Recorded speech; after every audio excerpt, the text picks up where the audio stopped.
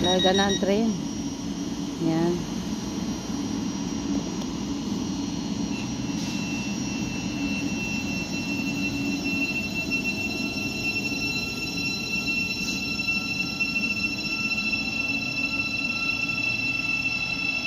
Yan. Dito tayo sa train station.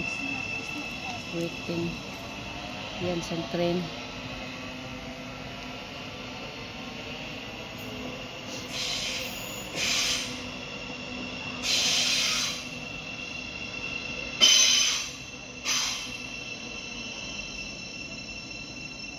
Kahaba lagi ni nga train kapatid.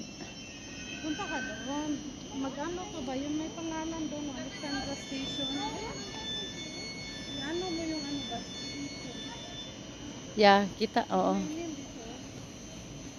Yan. 7:30. Ako na yung mga photo. Iwan mo yun.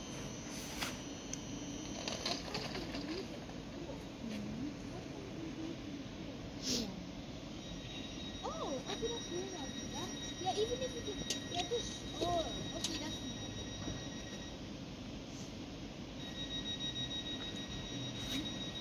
Dugay pa kapatid.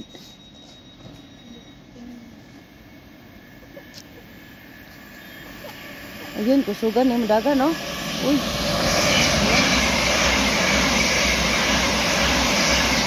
Aha, man to paingon. Kusog man dagan.